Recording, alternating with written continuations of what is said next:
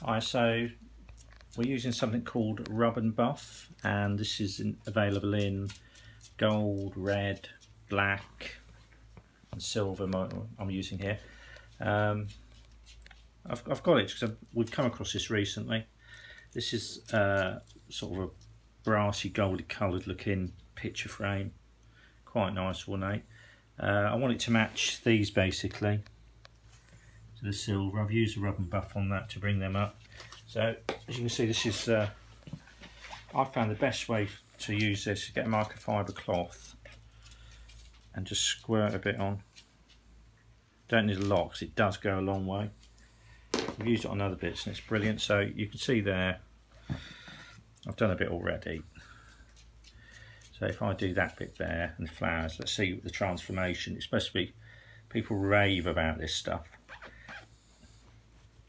thing with the microfiber cloth, you see how it's just transforming everything. You can get into all the little nuts So well. if you use the gold on here, on brass, it'd take it back to gold, but I've been asked to make these all silver. Uh, you know when you're running a bit low because it's not quite covering it. It, it sets as well, doesn't it? Yeah, it's got so it's it got wax off. in it as well. I think you can actually use it. You can wash it. So there we go. Again, there's a bit not done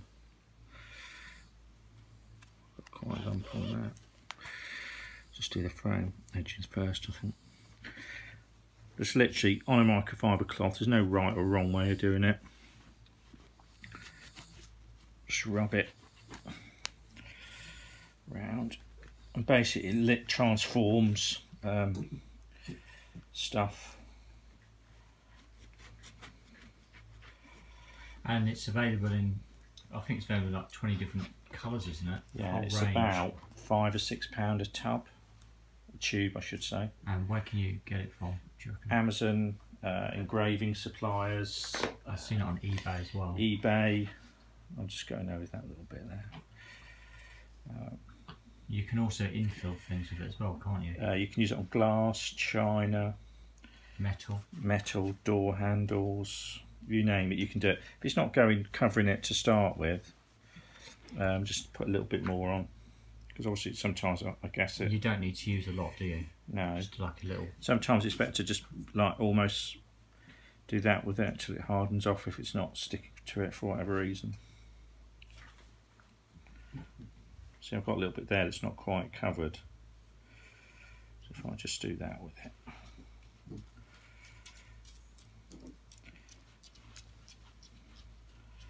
So I'd never heard of it before.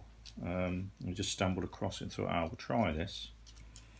So if you had, I've seen people using it on handles on chest drawers and remember this was a gold colour so it's not a silver base and it's sort of transformed that really. So if you're looking to change the colour of a metal so that that sort of thing you can it's quite nice. It's it's done it. Um, I've got another That's the difference between them, isn't it? That's that's yeah. the silver there, and then that's that's what it was. That's what it is now. Yeah, and here's here's one more of a silver colour. That was remember that was like a brass gold colour. So this is the silver type frame. You can see how easy it just goes over, but it freshens it up.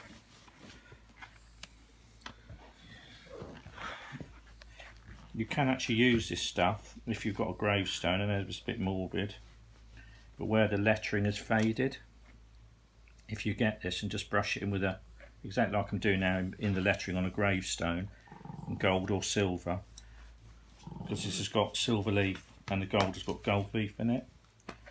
Instead of paying hundreds of pounds out for it to be repainted costs you six seven pounds it's waterproof and then you just rub rub it off where it shouldn't be. No need to mask up or anything and I know it works because we recently used it to restore some lettering on a gravestone. So that's why we, we got hold of it. It was the gold start with. wasn't it was a gold. And it looked as good as the day it was uh, first painted. The gold's got gold leaf in and this has got silver leaf the top. That's why it always looks so good. There we go. So I've done those four. That one there. That that, I think they've come up pretty good. Those ones at the bottom there, they're more sort of decorative. They've got sort of little leaves on them, Yeah. but it still wo- and it works really well on them as well. I mean, it was like Hey, that, That's the colour it was. and I've managed to do that like a just by doing that. So And it's not rub and buff, let it dry off, and then literally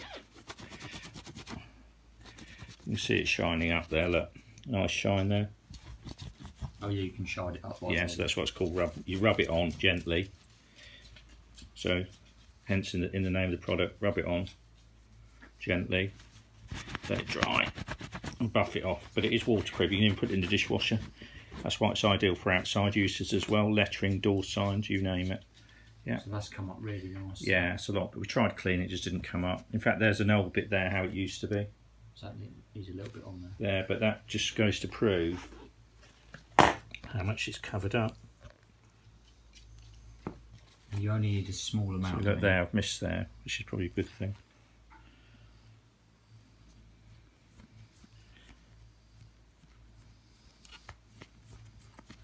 There you go. Okay. I Hope that helps somebody. Thanks for watching.